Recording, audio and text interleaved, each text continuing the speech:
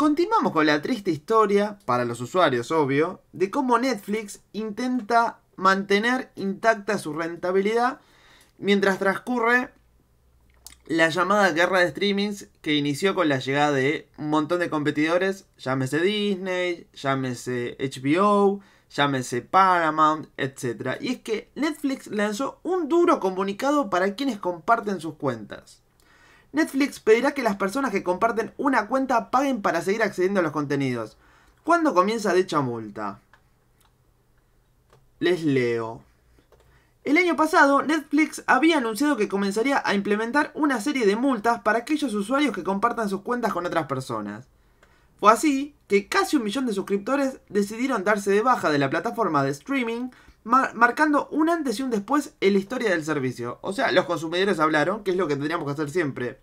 Cuando algo no nos gusta, llámese un servicio, llámese un producto, llámese una serie de televisión, un cómic, una serie, lo que quieran, hay que dejar de consumir. La única forma en que le pegan estas empresas es con el bolsillo. Y vos dirás, soy un pobre boludo que aporta un par de dólares y nada más, pero si nos empezamos a sumar los boludos, somos muchos boludos. Y ahí empiezan a tener un problema. Luego, la empresa decidió dar marcha atrás a la medida. Luego de escuchar los comentarios de los consumidores, decidimos discontinuar las funciones de agregar una casa en Argentina, El Salvador, Guatemala, Honduras y República Dominicana. Finalmente, Netflix pedirá que las personas que comparten una cuenta paguen para seguir accediendo a los contenidos, según informó The Wall Street Journal. O sea, básicamente recibieron todo el feedback negativo, se quedaron calladitos, dejaron pasar unos meses y ahora vuelven al ataque. ¿Cuándo comenzará a regir las multas para los usuarios de Netflix que compartan su cuenta? El programa debutará en el segundo trimestre, finales de junio, en la gran mayoría de los países que tienen Netflix, anunció el codirector ejecutivo Greg Peters.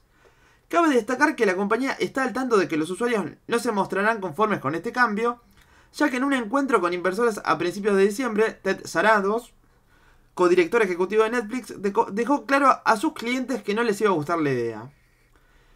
Él mismo remarcó que la compañía tenía que asegurarse de que entendían el valor de pagar por el servicio. Cosa contradictoria, pues justamente el gancho de Netflix por muchos años de parte de ellos mismos. Así lo publicitaban, es compartir tu cuenta, sacarlo vos y compartirlo con tu familia, con tus amigos. Y ahora que están agarrados de las bolas, te empiezan a correr con cualquier cosa, sumado a los aumentos que lanzan cerca de dos veces al año, pero aumentos mundiales, porque de última yo soy de Argentina. Acá la inflación nos come vivos y estamos medio acostumbrados a que suban los precios todo el tiempo, lo cual es pésimo. Pero en la mayor parte del tiempo, en la mayor parte del mundo, la economía es estable y es algo súper choqueante que haya una empresa que todo el tiempo insistentemente vaya aumentando los precios. Y que aparte en el caso de Netflix, eh, sin justificar con contenido, o sea, el contenido de Netflix cada vez viene peor. Hace un montón que no pega una buena serie. Las series que pegaban están todas como medio cojas. Por ejemplo, The Witcher eh, fue un exitazo y después, primero que se anunció la salida de Henry Cavill, lo cual entierra la serie. Después salió ese spin-off precuela que es un desastre, una de las peores series eh, puntuadas de Netflix, no le gustó a nadie. Después ahora termina Cobra Kai, eh, ahora termina Stranger Things. La verdad que no están trayendo buen contenido como para justificar que la gente siga poniendo plata. De hecho, por lo menos acá en Argentina, debe ser igual en otros países. Si sumás toda la competencia, incluyendo Amazon, HBO, eh, Disney, Star, que bueno, es Disney desdoblado, y Paramount, todos los streaming juntos salen menos que contratar Netflix. Bueno, les sigo leyendo. ¿Cuál es el valor de la multa de Netflix? Esta nueva función tendrá un costo de 219 pesos más impuestos por cada hogar extra, o casa como se denominará en el sistema, de acuerdo con un comunicado posteado en el blog de la compañía. Estos serán pesos argentinos. Para que se hagan una idea, eh, más o menos el dólar oficial en Argentina, porque después tenés el paralelo que es lo que rige todo, pero el oficial, que es el que aplica para cosas que se pagan en dólares, más o menos supera los 200 pesos, son un dólar, un poco más, un poco menos. Así que estaríamos hablando que te va a pedir un dólar más por casa. Y acá hace un recuento de todas las subidas de, de precios que va a haber. Netflix aumentó nuevamente el precio. ¿Cuál es el nuevo monto? El servicio de streaming anunció un aumento para sus tarifas en Argentina, que novedad, que incluye subas de hasta un 42,9% para su plan básico, 30,8% para su plan estándar y 26,3% para su plan premium. Y acá te discrimina cuál es cuál. Plan básico se actualizó de 700 a 1000 pesos, que con los impuestos estos de porquería que hay en el país, porque no hay dólares, entonces eh, te quieren cobrar por cada cosa que requiera dólares, y Netflix te cobra en dólares, termina saliendo casi en 1800 pesos. Este, este, permite ver contenido en un dispositivo compatible a la vez y en HD. O sea, solamente lo puedes ver en un equipo a la vez. Plan estándar. Paso de 1300 pesos a 1700 pesos, que es un montón que encima con todo este impuesto de mierda pasa a salir casi 3000 pesos. Este permite ver contenido en dos dispositivos compatibles a la vez y en HD, Full HD. Y el plan premium, que pasa de 1900 a 2400, que con todos estos impuestos de mierda que nos meten en Argentina, pasa a salir 4222 pesos. Y esto permite ver contenido en cuatro dispositivos compatibles a la vez y en Ultra HD, que igual me cago en el HD porque es muy sutil. Acá no tenemos televisores tan copados. Sale toda una fortuna.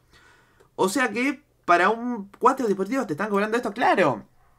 Vos sumás todos los streaming y si querés meter también Crunchyroll, que es el de anime, y te sale mucho más barato que tener Netflix. Y Netflix no tiene suficiente contenido como para justificar competir con 4 o 5 streaming a la vez. O sea, la verdad que el camino me parece que es empezar a dar de baja Netflix y de última tener todos los demás y formar como un Netflix fragmentado en páginas. A su vez, al ser consumo en dólares, son varios los impuestos que se aplican sobre el precio de abono. El 21% de IVA, impuesto al valor agregado. Percepción a cuentas de los impuestos a las ganancias y sobre los bienes personales, un 45%, que es una barra basada. Impuesto a país, que es un 8%. Y percepción impuesta a los ingresos brutos en Cava. Cava es Ciudad Autónoma de Buenos Aires. Un impuesto extra encima que nos agregan nosotros los porteños, los que vivimos en Buenos Aires nos llaman porteños, que es de un 2%, porque claramente Buenos Aires, el gobierno de la Ciudad de Buenos Aires también se tenía que sumar al curro. Así que bueno, gente, esto es lo que hay. Les quería informar. Muchos de ustedes seguramente tienen Netflix. Muchos serán de Argentina. Y los que no son de Argentina, igual con estas equivalencias eh, de números, más o menos les va a pasar lo mismo. De lo que se van a salvar, seguro, es de estos impuestos del orto que tenemos acá, que son impresentables. O sea, les quedará algo más o menos así. Eh, acuérdense que más o menos un dólar son 200 pesos argentinos. O sea, tienen que hacer esa relación en cada, en cada uno de sus países.